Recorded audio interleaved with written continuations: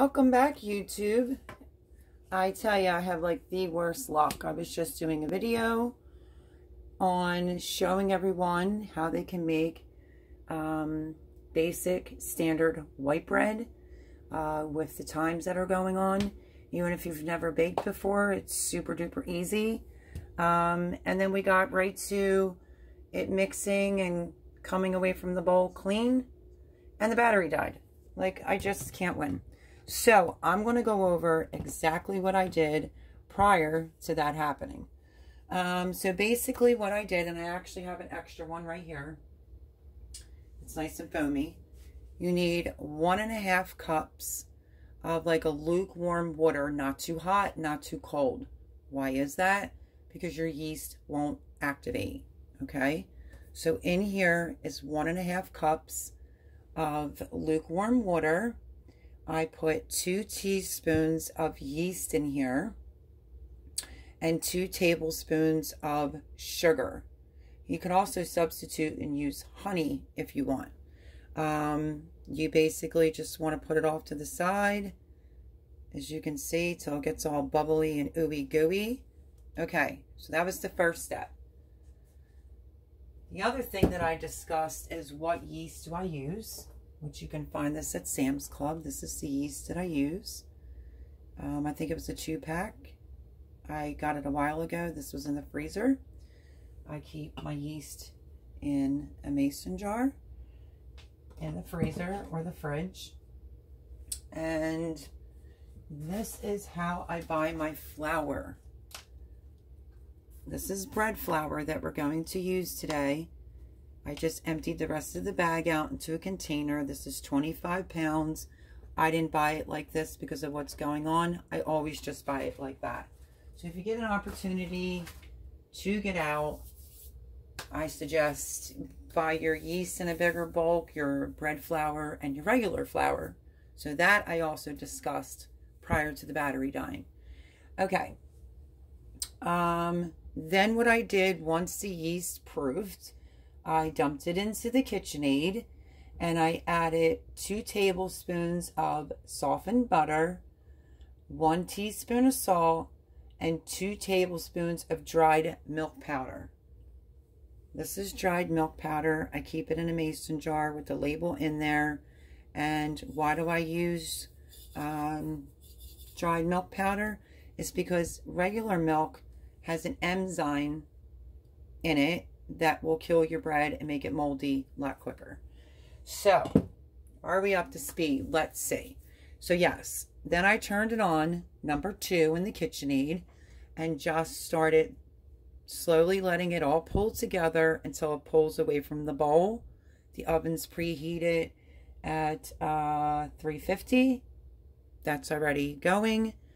Battery died right when I'm ready to tell everyone that once it comes clean away from the bowl, you want to now knead it for five minutes. So that's what we're going to do. You want it to be smooth as a baby's bottom. Um, you'll be able to tell. It'll look nice and smooth. It depends. It could be three minutes. It could be five minutes.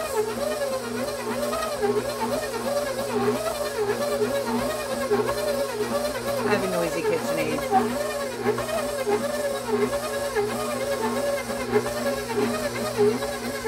So I am just going to let that knead, and then I'll bring you guys right back. Let me put you in the bowl, and you can see how smooth the dough is becoming. We are just about there.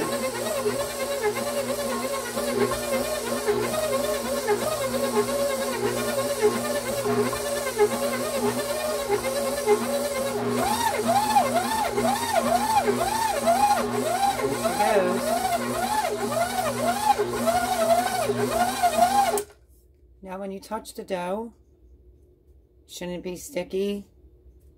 It should kind of be able to hold its shape.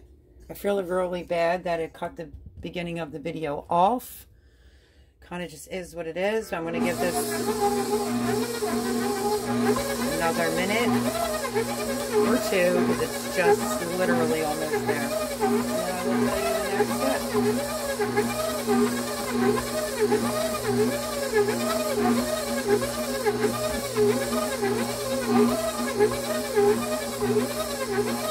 step. Okay.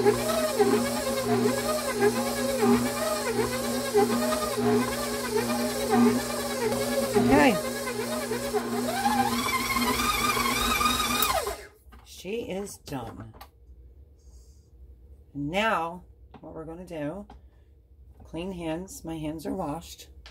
Like I said, I feel really bad, guys, that the video was cut off. I'm hoping that you can see this well. Let me see what's going on here.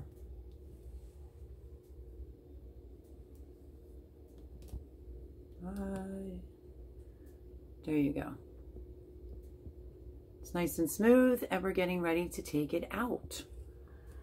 So, I had to just double check my camera because it's literally plugged into a battery block so it doesn't die again. Okay, so what we're going to do is, I just lowered it.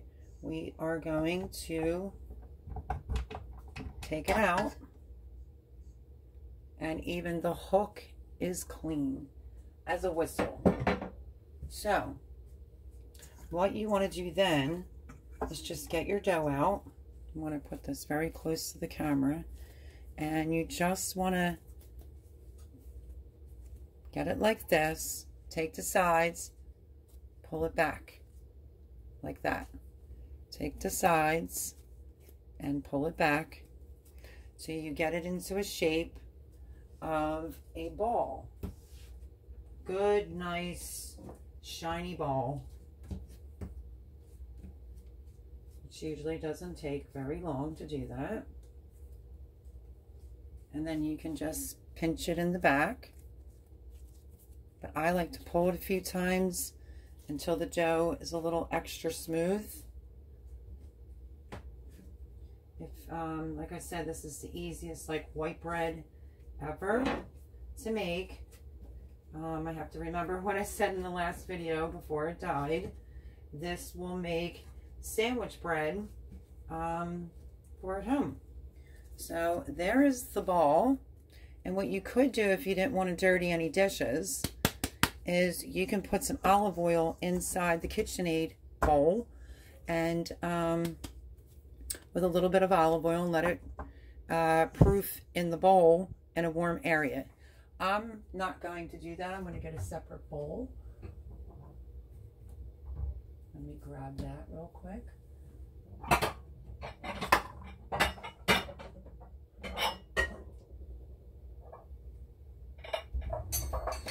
My Pyrex bowls are so heavy. Let me set this Pyrex bowl right there. This is the loaf pan that I'm going to be using. So, let me put these bowls back.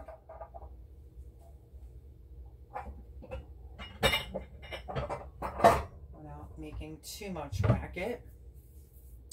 And then what we're going to do is we are going to put a little bit of olive oil inside the bowl. Not much, just a little bit. And I will explain why for the people that have never made bread before. This is your bread dough. This is the bowl with the oil in it.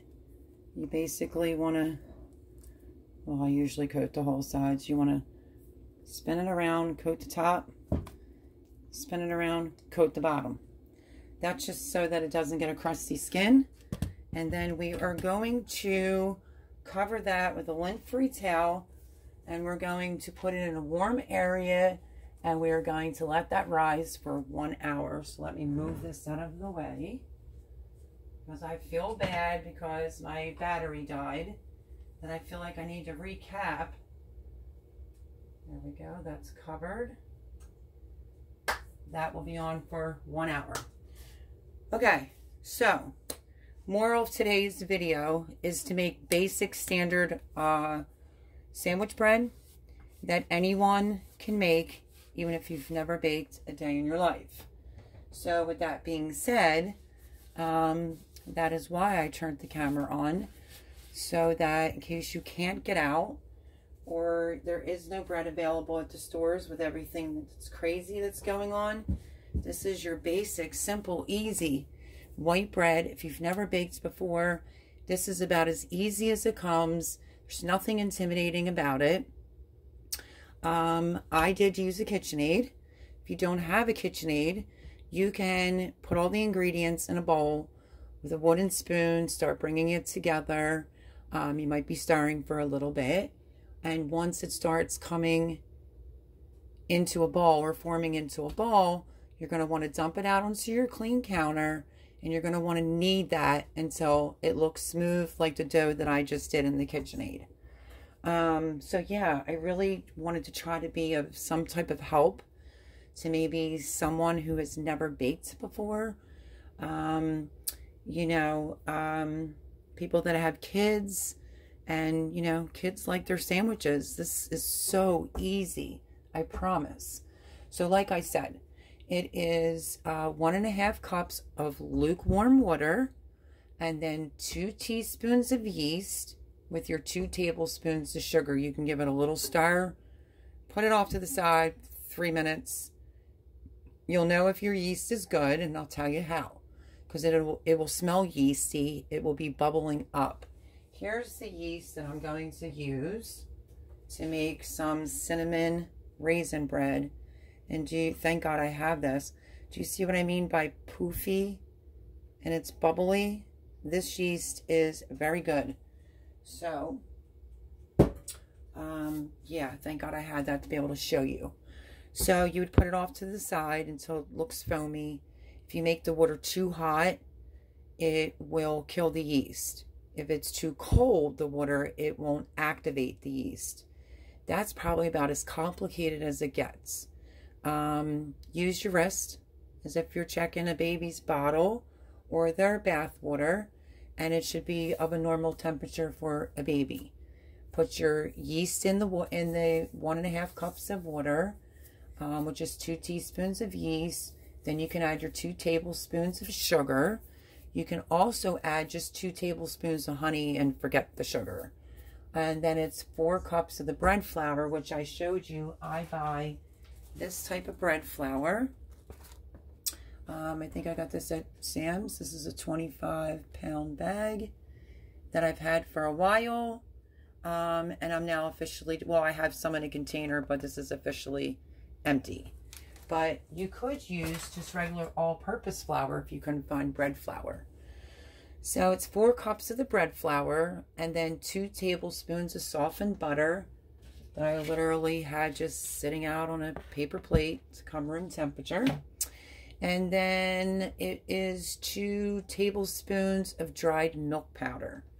That may sound strange to people, but um, I've been doing it for a while now because I noticed uh, my bread molds faster um, when you use regular milk. So you can substitute milk for the dried milk powder, which is two tablespoons um, inside this mixture as well with one teaspoon of salt. So I think you're up to speed there. Um, and then turn your mixer on two. Let it all come together. And you'll know when it all comes together when the side of your bowl is that clean. Once it's that clean, you want to put it on uh, for five minutes to knead it. Um, set a timer. It doesn't really take that long. It should look pretty smooth. Uh, once that's done, you saw I just took it right out of there. Uh, you can use this bowl with a little olive oil, spread it around, put on the bottom, flip it over. But I want to use this um, to make cinnamon raisin bread and hopefully that that video does not get cut off because I'd like to make that recipe for anyone who has children and maybe you want some cinnamon raisin bread. Maybe you can't find it in the store. I'm going to try to do some back to basic type of recipes uh, just to help, um, you know, with everything that's going on in this world. So you saw that I put it in a glass bowl That's why, because I plan on using this. A little olive oil in the glass bowl. Put your dough in there. Spin it around. Make sure the sides are coated. Flip it over. Cover it with a tea towel, which is what I did right here. It is covered. And we are now going to let that rise for one hour, which shouldn't take long because my oven's on. And um, yeah, so just put it in a warm place. It could be your microwave. Just don't turn it on. Um, if your oven wasn't preheated, you could put it in your oven with the light turned on. But it should proof fairly quickly. Um, but the standard's like one hour um, until it doubles in size. As soon as it gets to that, I will bring you guys back. Um, hopefully nothing else happens uh, with the phone. Um, wish me luck.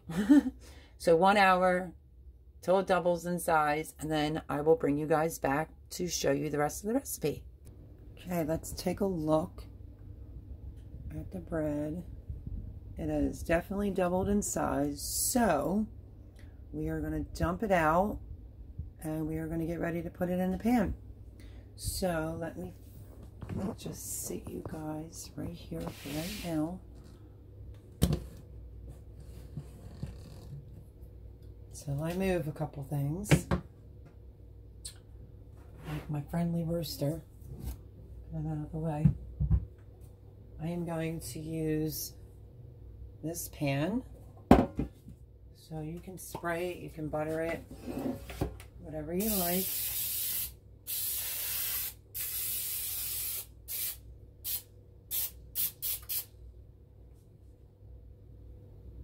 All sprayed and buttered. This is actually Pam Baking. That's what I use because I have a little bit left in there. And now what we're going to do, which I hope you guys can see, I am going to lower yours just a tad. Hopefully. I need you to see the counter, not so much. Okay. It's amazing the spots that we put our tripods to try to get the shot. Let me put my towel down a second. Make some room here. Thank you guys for being so patient. Okay. So, remove my bottle of water. This is the water I've been drinking every day. It's amazing. Okay. This is the pan what we're going to do now is we, this counter is clean. I've already cleaned it.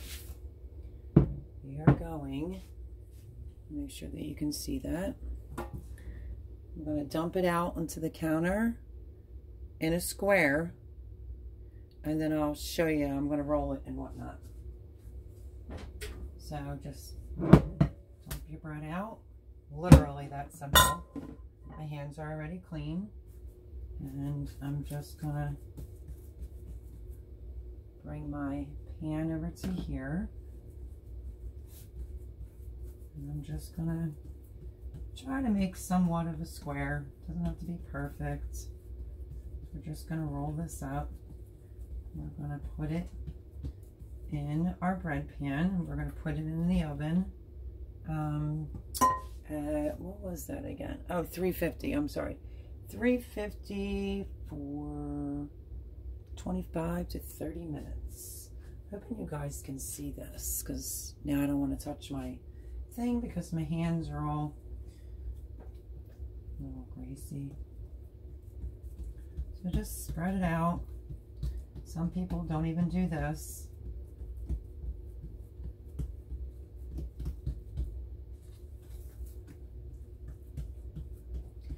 Just want it to kind of be even all the way around because what you're going to do is you're just going to take, let me see if you guys can see this. Let me wipe my hands off. Okay, let's grab this.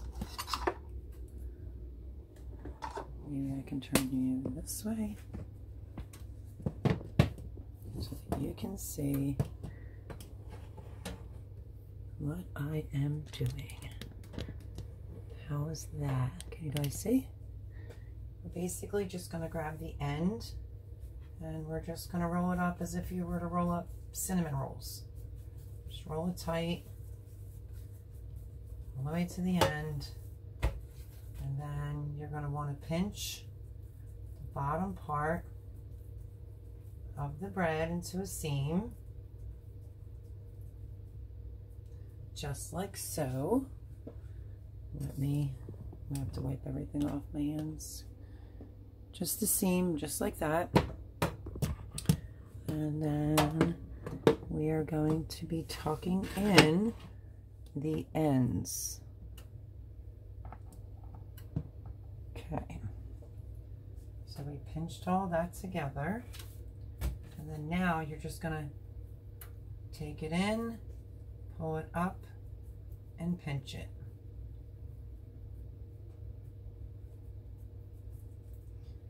Same thing, tuck it in, pull it up, and pinch it. And the reason for that,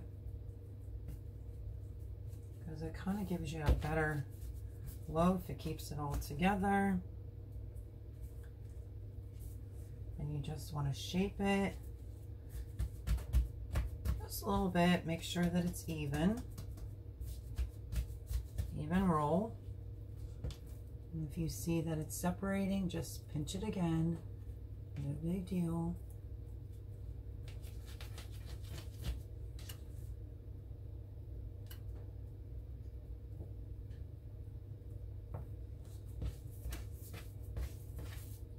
And that is that.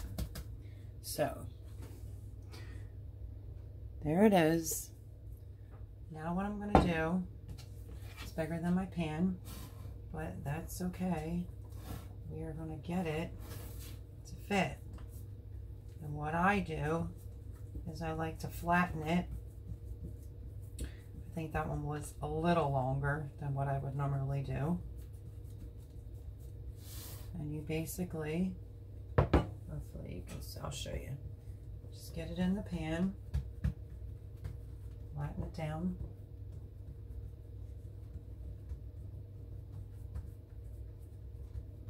Like so. You just want to get it in there and then just start flattening it.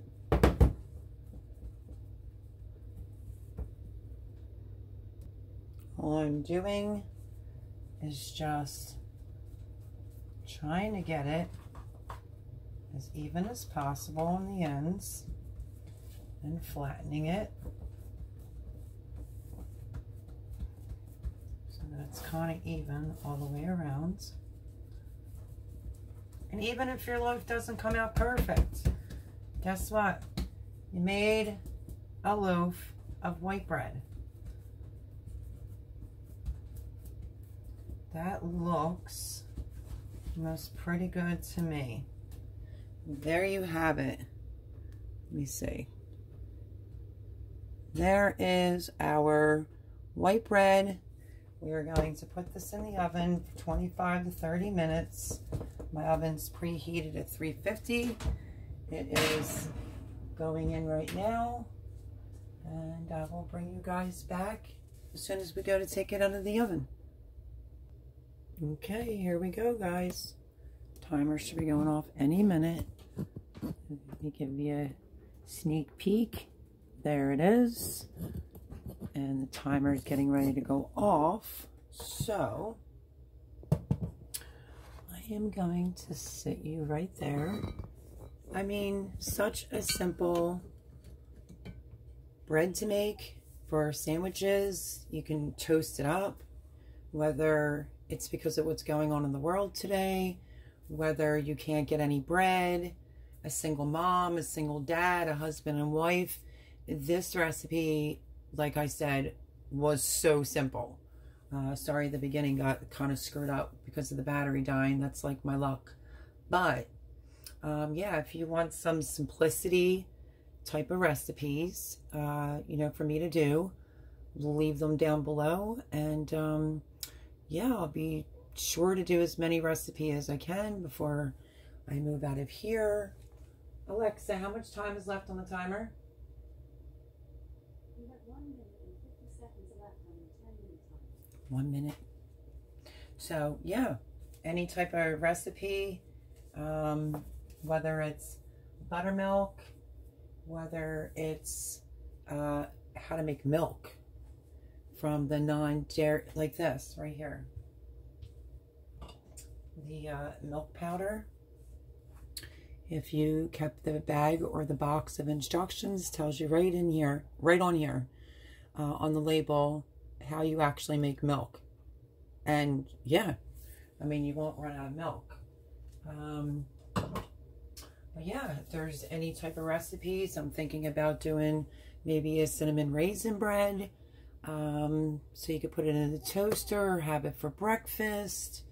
I will try to see what I can do um, as far as recipes that are of a necessity to what's going on in the world today. Um, and uh, yeah, if you have any requests, leave them down in the comment section. And um, please subscribe, smash the like button. I will leave the recipe down in the description box. But I hope that this helps everyone. Uh, whether it's, you know, someone that's never baked before. This was easy peasy, exactly like I promised. I'm going to pull this out now.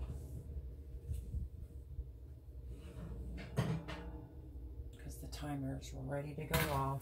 And I'm going to show you what this looks like.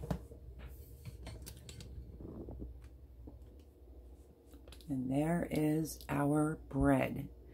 Now let me see if I could put you right here and I will show you that if you want it to be like Wonder Bread, um, that's the only way I can really describe it. Alexa, stop. Timer just went off. If you want it to be like Wonder Bread, you can just, which is a softer crust. Did you hear that?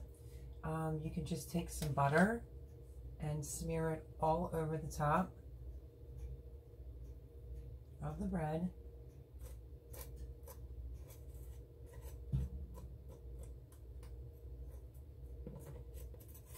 This is how I do it um, for sandwiches. You can also leave it and not put any butter on it at all. If you want, you know, a crustier bread, don't put butter on it. You want it to be like a sandwich bread, then spread butter all over it. That didn't take us long at all to do. Let me do a little bit more right here. Oops, I just dropped it. Usually I'll take like the wrapper, smear it all over it. But just a little bit enough to give it some shine and to make the crust softer. Just get all your little nooks and crannies. And that's it. So here you go. Let me take you over. I don't know why I was picking up the pot holders. You, everybody always wants to see the crumb inside. And don't even worry that that's, doesn't matter. It's a little bit lighter, it's fine. Um, everyone wants to see the crumb, but you're not supposed to cut into the bread until it's cold because it could fall apart. But I am going to dump it onto the cooling rack. So let me do that. We're going to get it out of the pan now.